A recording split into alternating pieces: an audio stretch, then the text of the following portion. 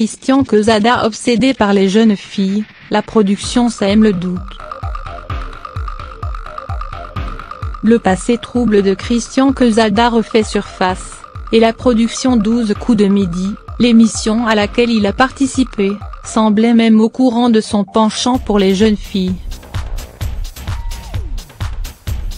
C'est le mois dernier que le grand gagnant du jeu télévisé de TF1 a été mis en examen pour détention et diffusion d'images pédopornographiques et corruption de mineurs. Il a été révélé au grand public grâce à son succès dans le jeu télévisé en remportant plus de 800 000 euros. Il a été placé en détention et serait même sous haute surveillance.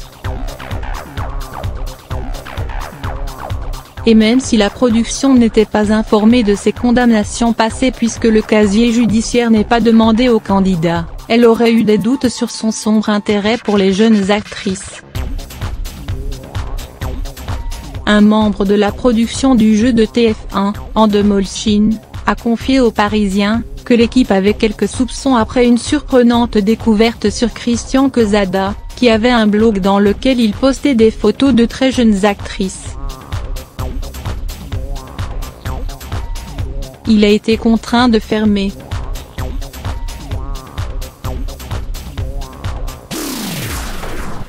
Ce qu'il avait donc fait avant ou pendant la diffusion de l'émission, a-t-il insisté.